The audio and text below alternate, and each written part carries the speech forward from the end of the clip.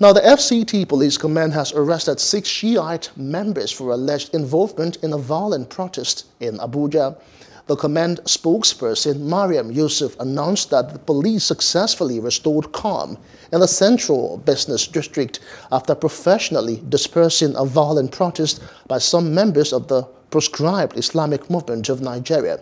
He added that unfortunately the members of the disbanded sect went on a rampage, destroying public property and attacking innocent citizens, including police officers with stones and other dangerous objects. Commissioner of Police Bala Ciroma reiterated that the command would not condone any form of attack on its personnel, equipment, or other public property, as all culpable persons will face the full wrath of the law. Hello, hope you enjoyed the news. Please do subscribe to our YouTube channel and don't forget to hit the notification button so you get notified about fresh news updates.